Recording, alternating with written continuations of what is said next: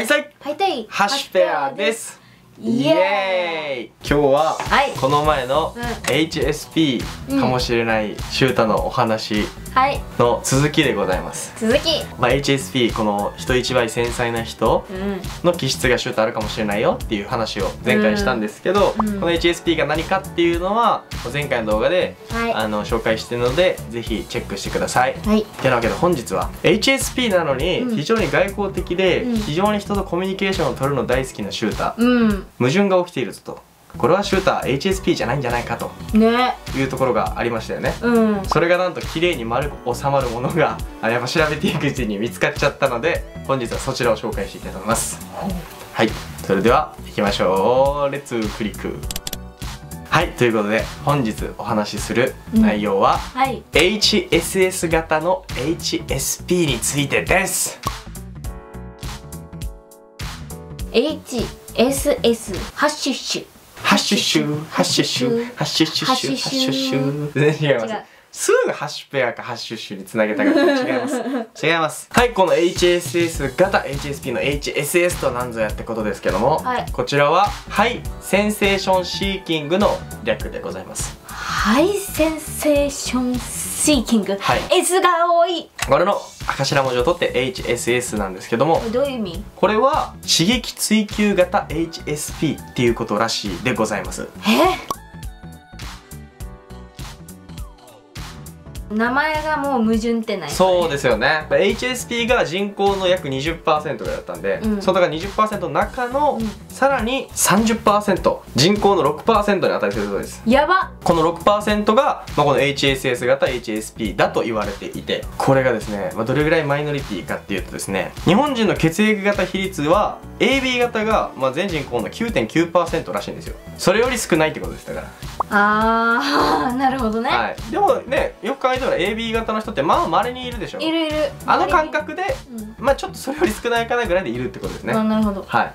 それでですねまたここでちょっとね、まあ、これは疑惑なので刺激追求型 HSP が何なのかっていうところをまず一旦このセルフチェック項目が今回渡るのでああこれちょっとチェックしていきますね。はい、えー HSS 型 HSP のセルフチェックいきます。はい。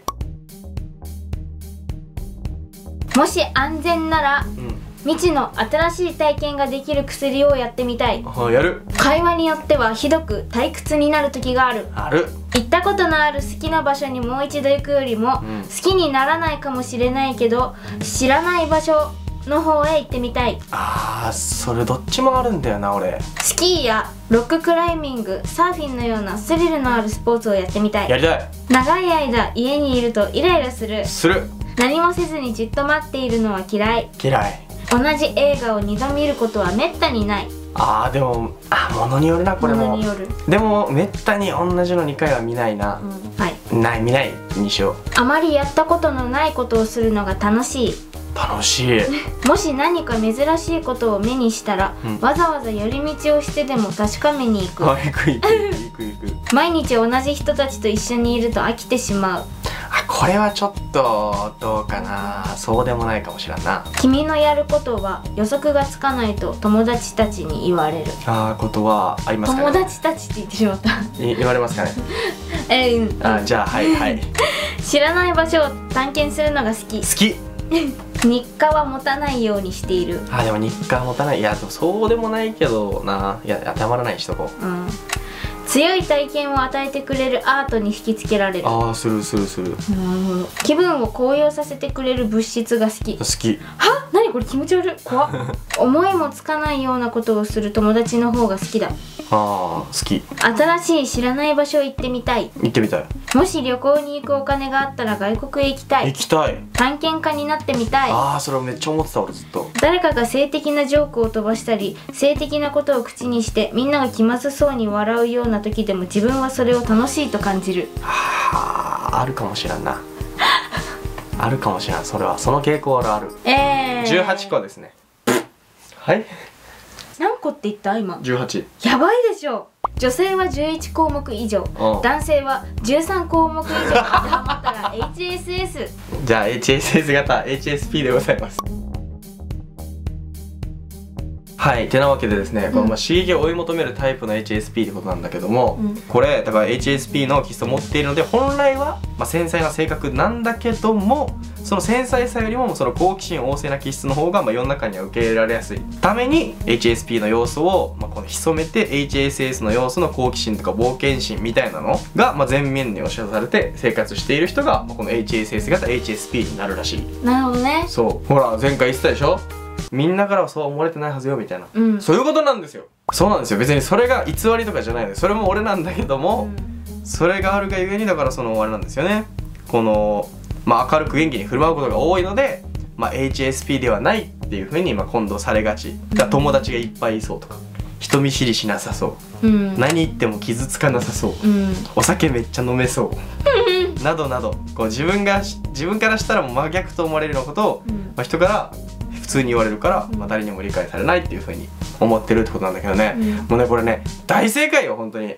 もう HSP でこうめっちゃ内向的でもういろんな刺激をもう無駄に感じ取っちゃう敏感な繊細な素質を持ってるのにもかかわらずそれと相反する水もいろんな刺激があるであろう人とのコミュニケーションだったり、うん。まあ、新しいことだったり刺激的なことを自ら求めちゃう性格がこうなっちゃってるがためにどっちかのこの欲求を満たしに行こうとするとどっちかが絶対的に疲弊してしまうっていう。あーなるほどね。そうだからさっきのアクセルとブレーキの話だけど、うん。めちゃめちゃ飛ばしたいっつって飛ばせば飛ばすほどブレーキかけちゃうから、うん。その分やっぱタイヤがめっちゃ摩耗してうん。無駄に使われるんですよ、無駄にね、うん。逆になんだろうめっちゃブレーキで飛べちゃうと止まった分だけもっとなんか反発してブレーキでなんかもっと走りたくなるっていうだからもうこういうことなんですよ。うんだから疲れちゃった家で全力で一人で休みたい。休みすぎると外に行きたくなるし、うん。外で全力で遊ぶと今度はもう家でひたすらに休みたいしっていう、うん。だから2つが混同しちゃって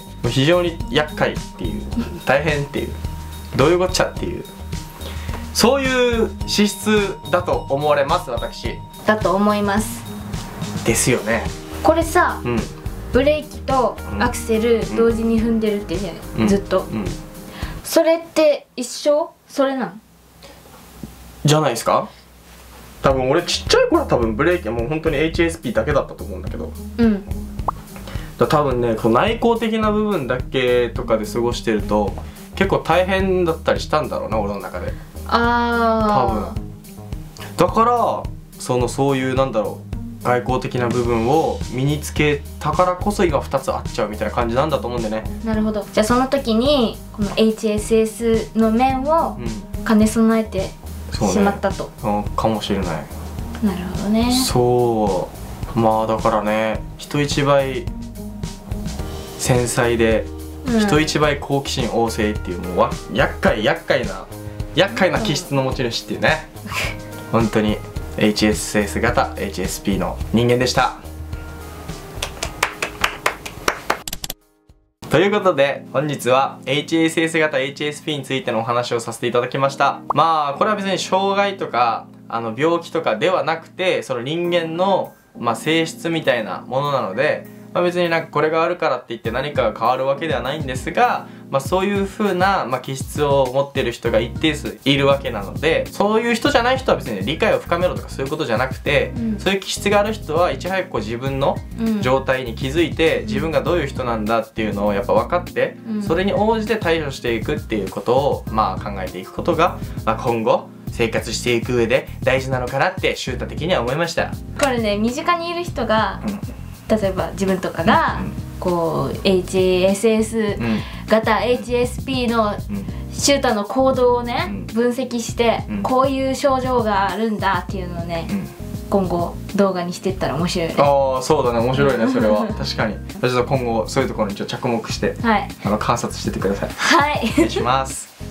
てなわけでこの動画が面白いと思ったらグッドボタン。チャンネル登録も。よろしくお願いします。それではまた次の動画でおあいいしましょう。バイバーイ。HSS 型 HSP です。あ今押したんだ。あ今今パーン広がったさ。もうめっちゃ広がった体だったから一人で。これからもそんなシューターをよろしくうんお疲れ様、あありがとう。あおりがとう疲れ様ありがとううんありがとう。ありがとうね全然そんな苦しいわけじゃないからさ。えー、でもさ疲れるっしょ。疲れてるななんかね。うん、うん、ありがとう。